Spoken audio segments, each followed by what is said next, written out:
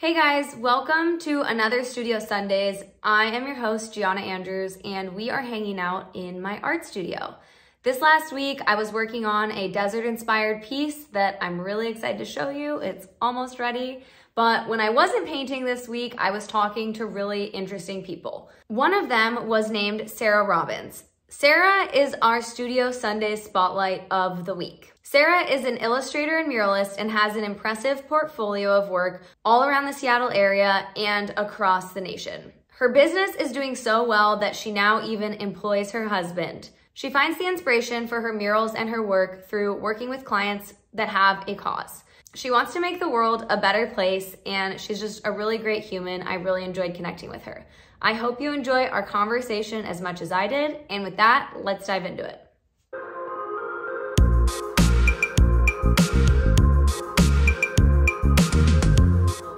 Sarah, welcome to Studio Sundays. Thank you for being here. Thank you. Yeah, I'm excited. Okay, so where are you based right now? So I'm in Seattle, West Seattle. Um, but I've only been here since 2015, so almost a decade. Um, came from the East Coast, so I've kind of been all over the place a little bit. Okay, so what brought you out to Seattle? That's a complicated question. That's um, okay. So grew up in upstate New York. Um, and then went to art school down in Washington, D.C. And then, including school years, I spent like probably eight or nine years there. And then, I mean, I love the city, don't get me wrong, but like, as far as art goes, it got really stuffy really quickly. Like, everyone's wearing suits, and it's just like, it's not what do you do, it's who you know. And I just got like bombarded with DC politics. Um, so because of that, I was kind of looking for any excuse to leave.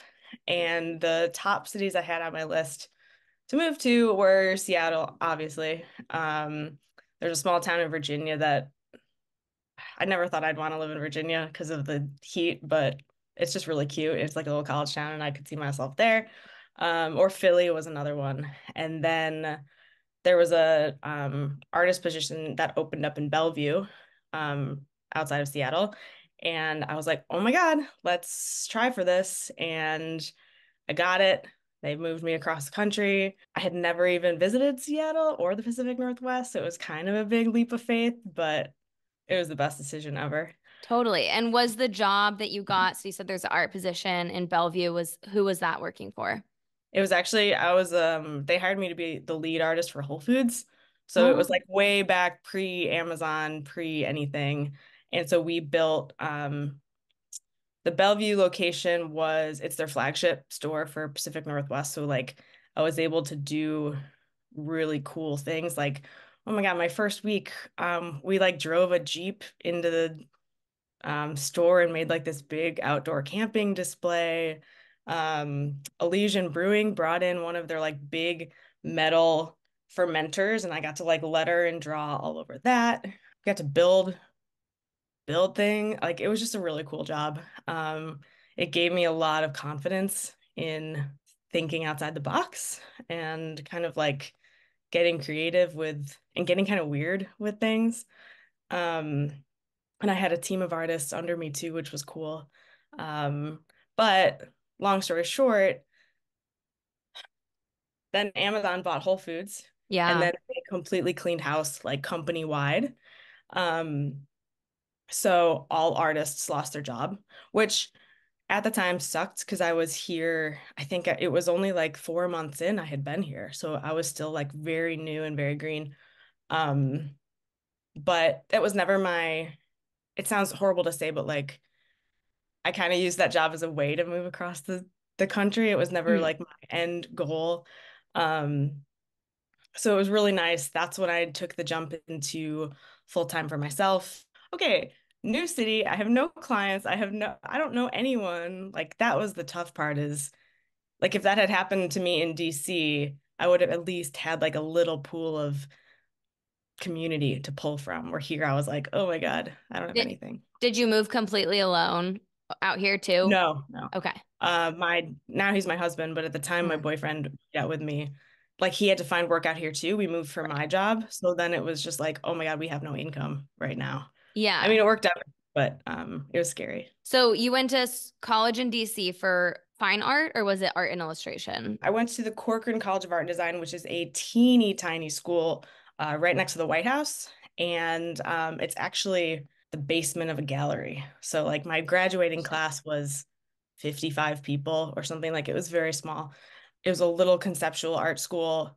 Um, my degrees in fine art, they didn't have, like, they weren't even big enough to have an illustration program, but you could do, I learned how to weld. We did furniture building. We did mold making. We did um, ceramics, every, like photography, everything. So it was really cool at, at that size. You can kind of dip into everything and just get like a well rounded, I don't know, base of knowledge.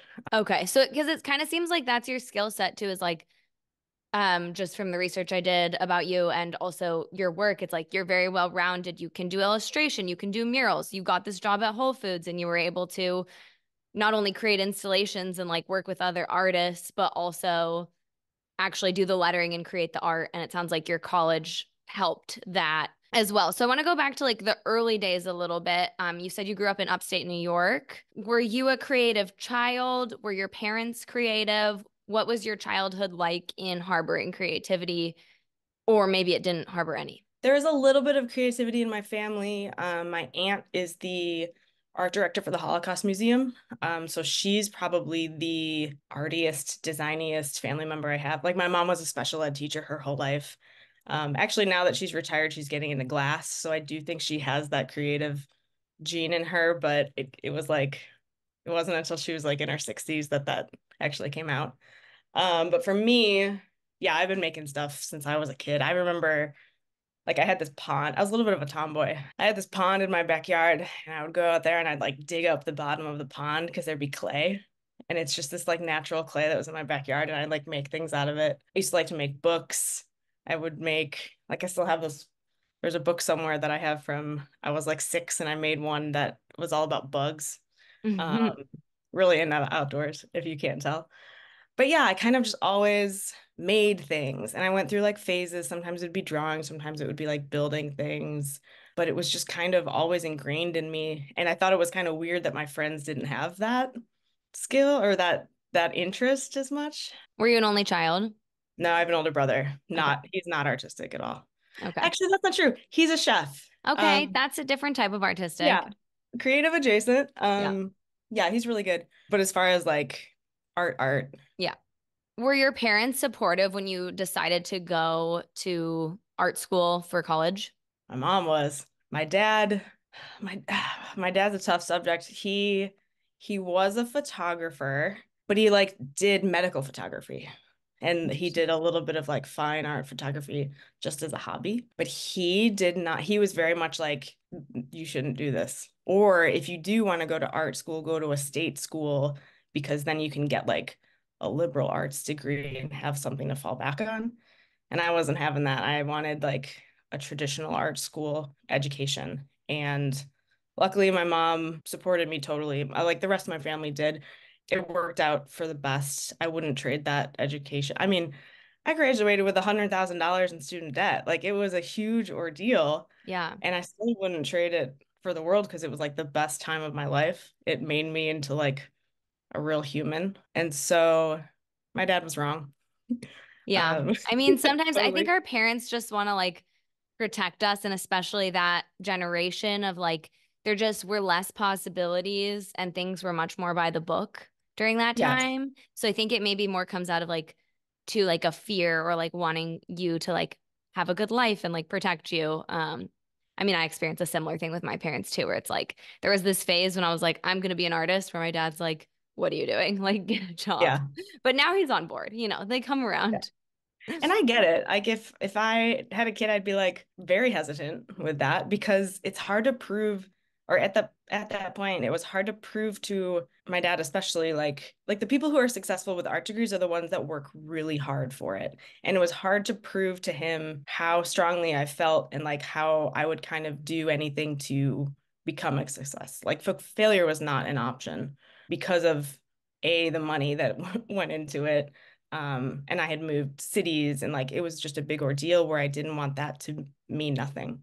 Mm-hmm. uh, so i think that kind of as much as obviously I wanted him to support me, it was kind of this little push of like, oh, I need to prove him wrong. And it made me into like a more of a hard worker and kind of like a go getter. So, did you ever consider like you're in DC? I'm sure the fine art scene there's pretty, like you were saying, people are wearing suits, like it's kind of a more of a bureaucracy. And you kind of found your way to murals. Do you think, do you attribute like the murals and illustration avenue that you're pursuing now to getting that job at Whole Foods and then ending up out in the Pacific Northwest and and kind of like developing that? Or before you moved um, did you know that that's what you wanted to do?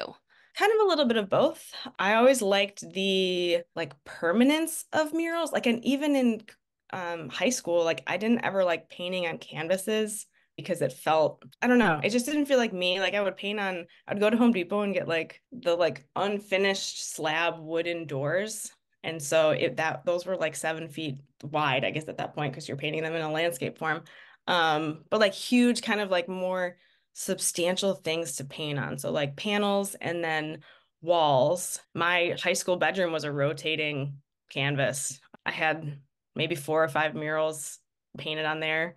I don't know how my mom's going to sell that house because it's just, I think I left her with ones that are like paint splatters. So she'd have to like sand down the walls. It's going to be a whole thing.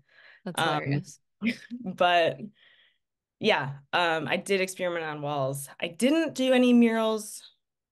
Oh, that's not true. I did a couple murals in DC, but nothing major. Um, it was just kind of a way to get my feet wet, and then got more into it out in Seattle. I think I just like the scale, and I like the process of them, and they feel a little more like substantial, like something that's more permanent than just artwork. So I kind of fell into it naturally.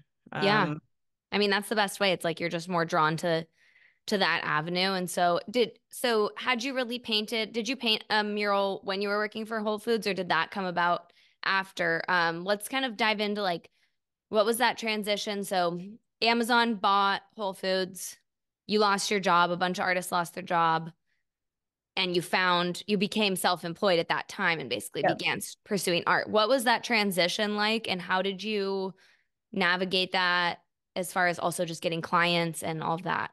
I'm extremely lucky with that part of my career because, well, let me go back to answer your question. I did one mural for Whole Foods and it was um, fairly small. It was back in DC. Um, it was just they needed a wall filled and I suggested it and they said yes.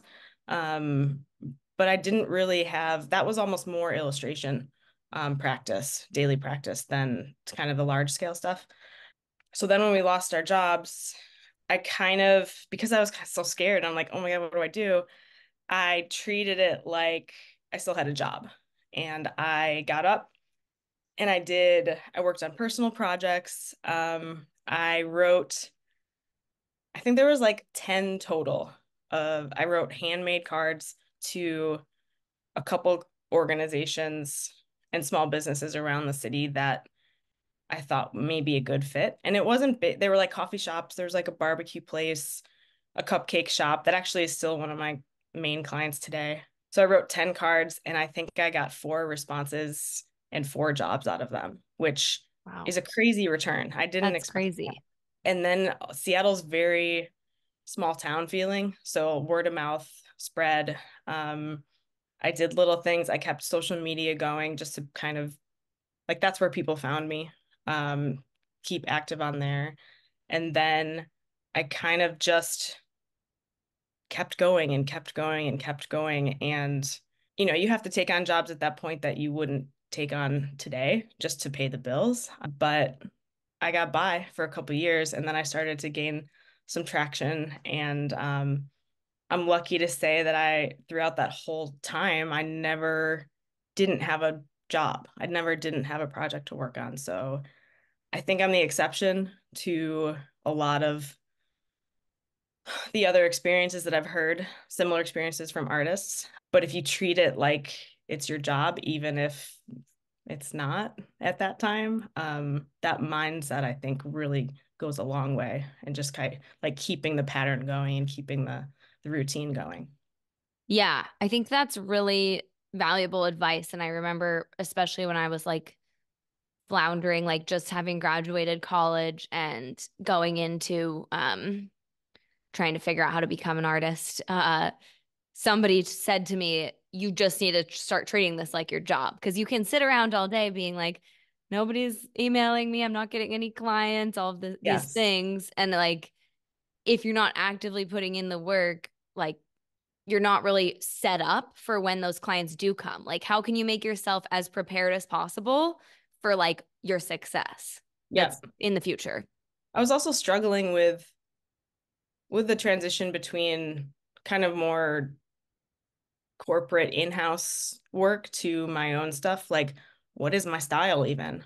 So even if it was working on personal projects it was practicing style practicing um, application technique like all of the things that kind of like you said it's setting me up to be professional and look have like a nice end result even though it may be like my first or second job out of a corporate environment Mm-hmm. And what year was that? How long have you been full time art? 2015. So okay. eight eight years, nine years. Yeah, going on a decade.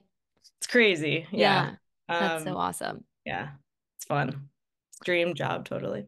And so you you you do a mix of illustrations and murals. Are your illustrations um, typically done in Procreate, or how are you doing the work that's not getting blown up onto a wall. What's your process like with that? Um, yeah, I love Procreate. Um, I've been using that forever since it came out.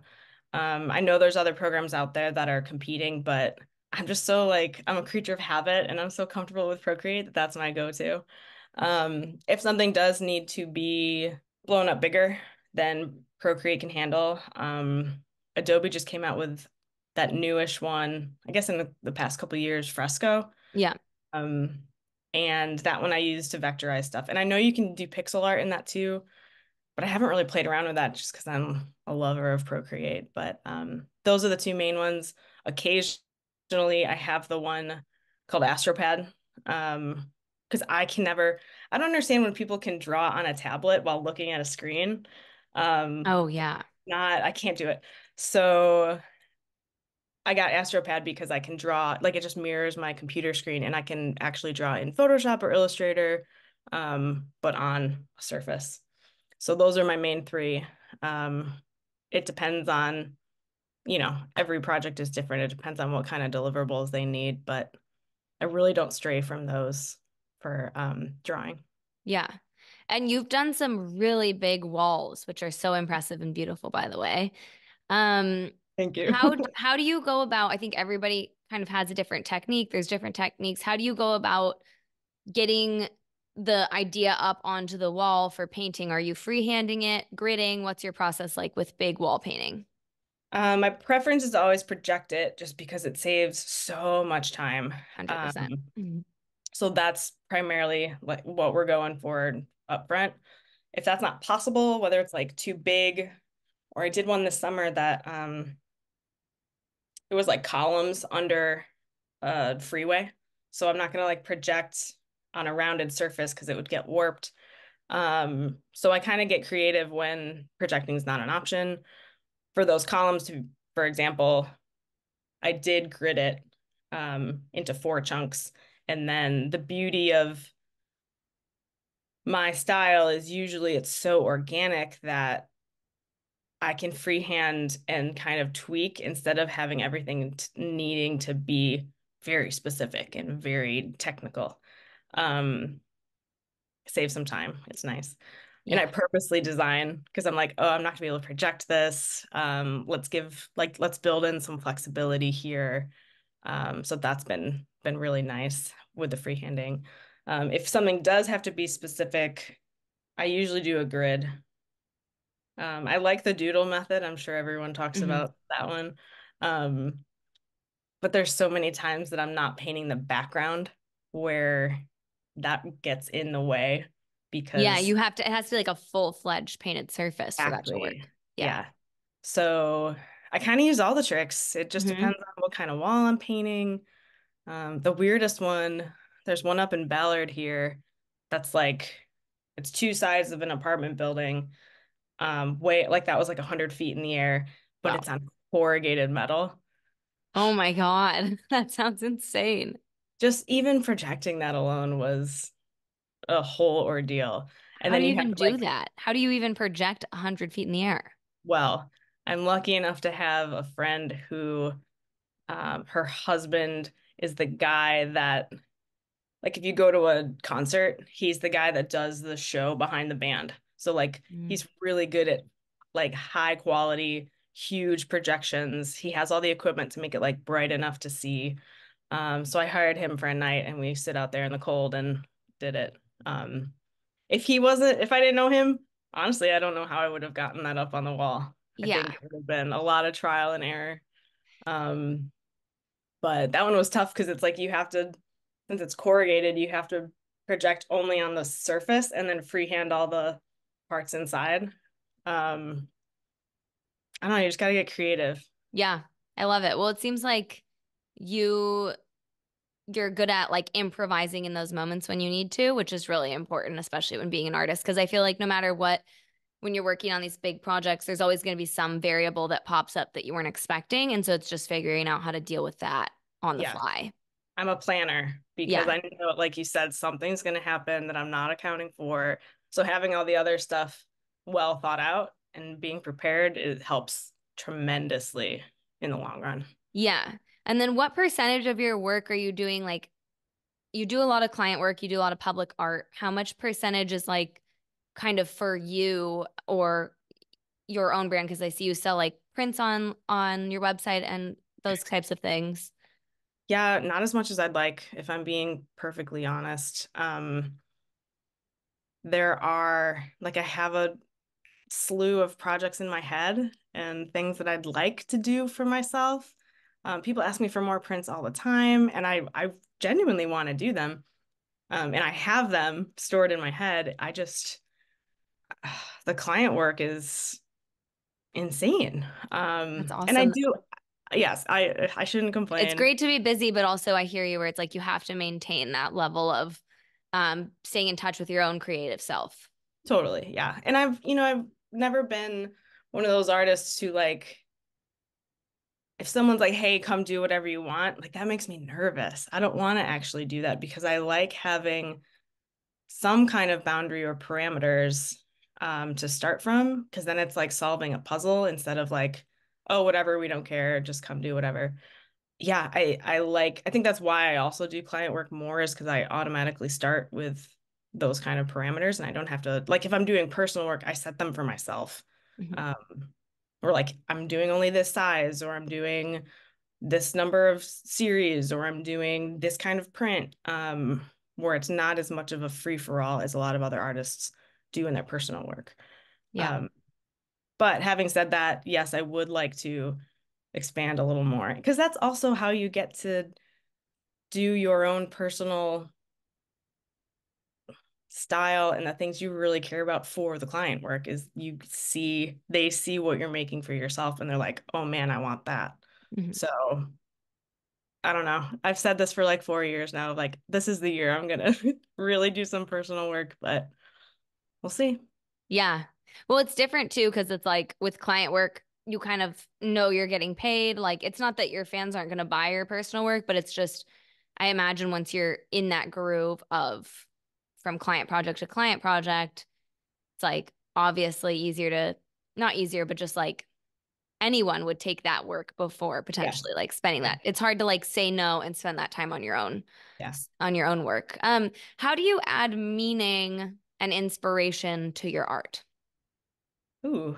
Um, I do like every I feel like I need everything to be meaningful. Um, but that is on a huge scale. Ooh, that's tough because there's so many ways I could attack this. Um, okay, so yeah, I think if it's public art, um, if it's depending on what kind of organization I'm working with, um, they will bring some meaning themselves. Um, so like just for an example, Did this one um, last summer, and it was an installation in this. It's this new place out in Redmond. It's like three buildings. Um, above that, like the most of the buildings is just affordable housing, but then on the bottom floor are it's like office spaces for there's like 25 or 40 companies that work out of the space and it's all kinds of like social cause um, organizations. And so like you can as a resident or not as a resident as a um, civilian just anyone can walk in and just say hey i'm really struggling with this. It could be oh my god anything. Mental health. It could be i can't pay my rent. It can be um, like there's a language barrier that i can't get through. They need something. Um, literally any problem that they have they can walk in and be pointed in the direction um, of an organization that can help them it's amazing that's amazing um, it's really cool and so i did like a lobby installation for them um, and so for that type of art the meaning is ingrained because the work that they do, all of those organizations do, are meaningful on their own. And so my job was to, like, I did a lot of research. I listened. I listened more than I thought. Um, or it wasn't more my ideas. It was like pulling out of listening sessions of like bits of information. And my job was to come in and kind of illustrate a concept that embodied this whole big infrastructure of social organizations. Um, turned out really cool. They were happy with it. I was happy with it. I ended up doing like a Pacific Northwest nurse log. So it's like the logs that fall in the forest, and then they're they are the support system for all these little seedlings that grow. Um, it's just one big metaphor, but I think that's where the meaning comes from. Is like I listen for it. I don't necessarily always create it myself because then it feels like it's not it feels like it's my story when it shouldn't be. Um, yeah.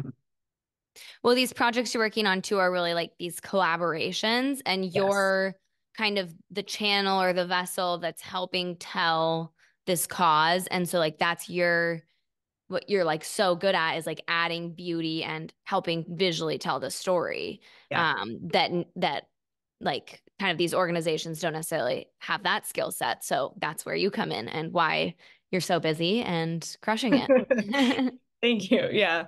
Um, it's cool. I like being that, I like having that role for people because yeah, they struggle, they know what they're doing. Um, but they struggle to visualize it a lot of times. And it takes someone who is not involved at all, has no, you know, nothing in that game, um, to just like come in and see it and make it. So yeah. So you're giving, you're giving your, you know, all this time to these organizations and your your skill set. What brings you joy outside of your work and your creative? I mean, obviously, I, as creatives, I know like our art has to bring us joy in, in order for it to work. But what do you like to do, or what are some of your hobbies that don't have to do with painting? I love taking day trips around Seattle. Um, there's just so much to see. You can drive a couple hours in any direction and be in like a completely different environment. So sometimes I do need just a hard break where I'm like, let's go out to Whidbey Island or let's go up to down to Rainier, like anything like that, usually nature based. Um, and then sometimes sometimes I just need to like sit on the couch and watch garbage TV. Oh, I feel um, that. I just got to zone out for a little bit. Um, I struggled with burnout a lot. A couple, like starting two years ago into last year, you know, I can't always like take a trip or do like a real break where that was like a little mini break. It was just like a turn off my brain kind of day. Um, and that helped. That helps get through the like just constant being bogged down with everything. And then I like to garden. yeah. as silly as that is. Um, I love it. Just like being outside, um, getting my hands dirty. Again, like it's a zoning out thing where I'm not thinking of work. Um, anything that can kind of get me in that headspace is kind of what I gravitate towards. So you said you were struggling with burnout. Um, do you feel like you've gotten maintained now a bit more of a balance for yourself, or what does that balance look like? Well, Um, I am still struggling with it just because I did all the tricks, man. I raised my prices. I like I did all the tricks and nothing really worked as significantly as I was expecting. Definitely my trajectory is coming out of burnout. I don't feel how I did a couple years ago. And I'm also valuing like I think kind of how we talked about when you first start out on your own, that hustle has to be there. That's how you get your traction. That's how you become successful. But then, kind of once you've gained that momentum, it doesn't necessarily have to keep up at that speed. And I struggled with that a lot because I felt like if I wasn't working or wasn't doing something, it was wrong and I was wasting my time. And so, like, forcing myself to have a mindset shift helped a lot. Still struggling with that, but getting there. And then I started saying no to projects. You know, it, it was years and I would say yes to everything because I needed to pay all my bills. But when something wasn't a good fit or they didn't have the budget I needed to get it done, I started to say no. And that, or point them in the direction of another artist, like something that I'm not just like closing a door, I'm kind of just like diverting. That really helped a lot too, even mm-hmm. though it felt, it felt weird in the beginning. Um, yeah, saying no is huge. And I think I've heard that from a lot of other artists I've talked to is that in the beginning you're just like hustling. You feel like if you don't work for you know one hour of one day, then like it's all gonna go away. And it is really important to build that foundation. Like you just have to work harder than like maybe the average person working a job because you're literally starting to build this business from nothing. But longevity wise and in order to last, there does need to be this transition to where you can like enjoy that work life balance. And that's something I've struggled with too. And I've had to fa- find myself and just take time off. And, and I think it's something we can all relate to. And I was going to ask, but you already, you already said like saying no is so huge. And, and um, I think it's like almost stepping out of like that scarcity mindset and into like another project's gonna come even if I say no to this one, and like only saying yes to the things that feel really aligned. Yeah, and it took a while because if I said no to something or if I to really believe that oh another project's coming along um, that took a while because I was like maybe I'm just having like a good year. Maybe it's just a like a fluke. Um, but then when that consistently happens year after year after year and you see that you're taking on larger work um, with bigger budgets and being able to take on more meaningful work um, and really like put your heart into the big stuff instead of some of the smaller jobs um, that I would take on in 2015. When you see that trajectory kind of just like consistently go up, um, I mean, it took years for me to trust it. And now I could probably say this year, possibly maybe last year, were the first years that I actually did trust it. Like my um my husband left his job last year and he works for me now, which is crazy. Oh my God. Heck yeah. A, we love that. yes, it's a big um I don't want to say a gamble hmm. um because he's great. He's also a designer, but um you know, we have one income now. Yeah. so the pressure's still one there. Business. Mm-hmm. Yeah. But I feel I still feel okay about it. I I trust it. So what is he doing for you?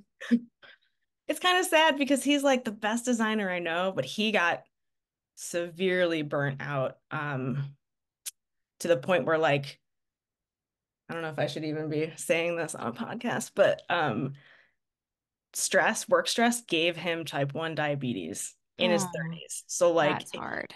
It, it just was like he was in a bad place.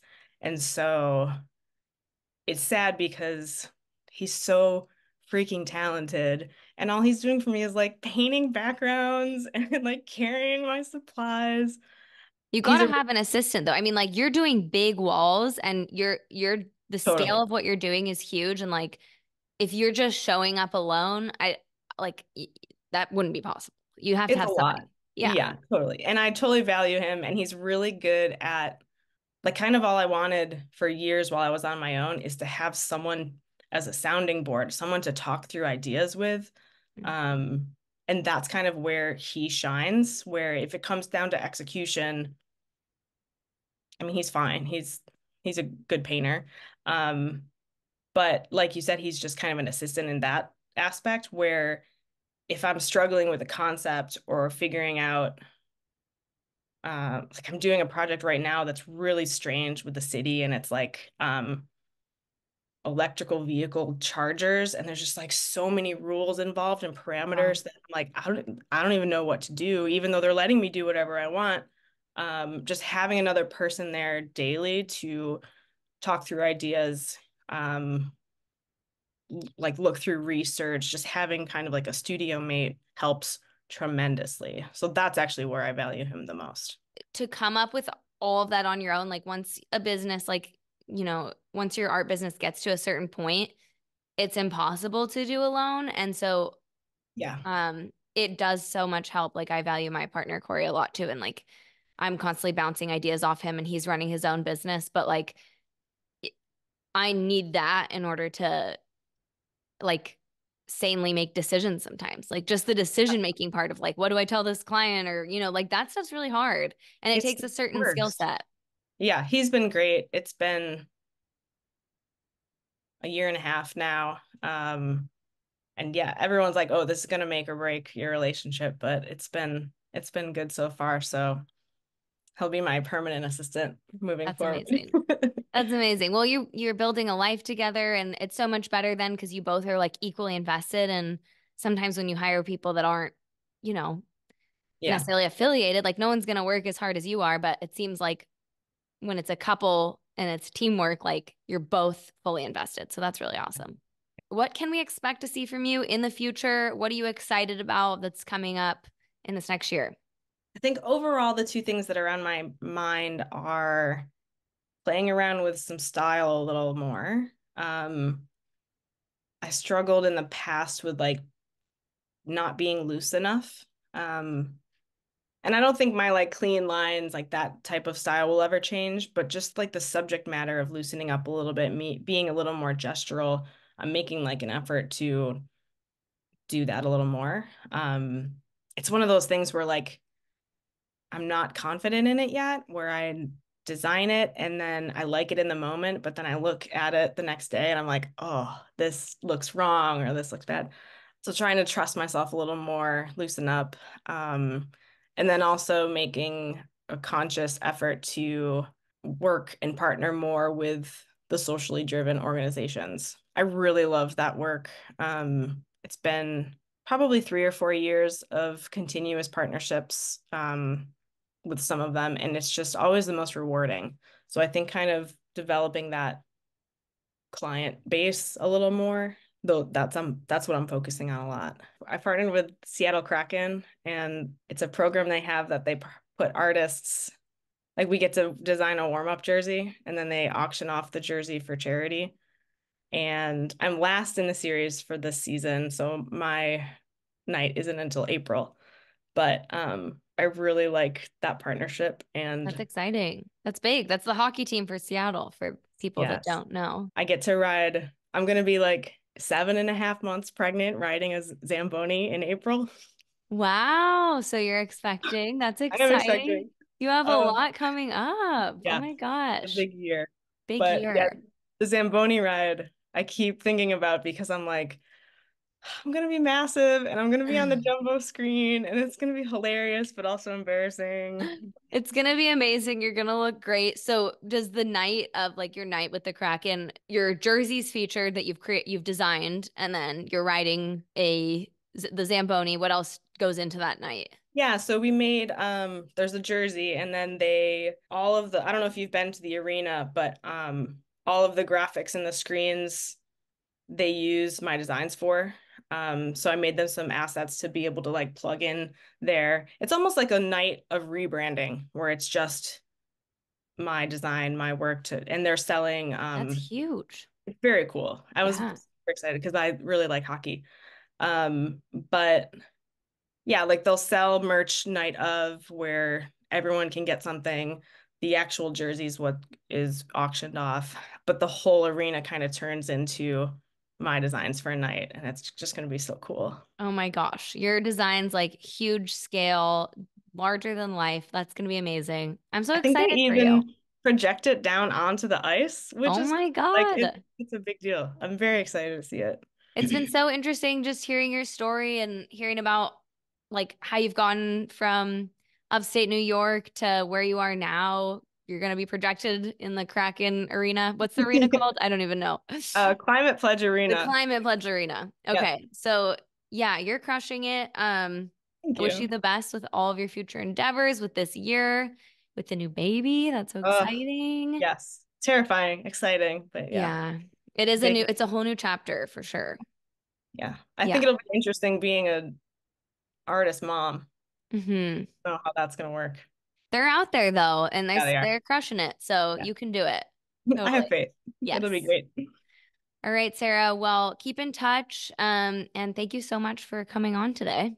Yeah, thanks so much for having me. This was fun.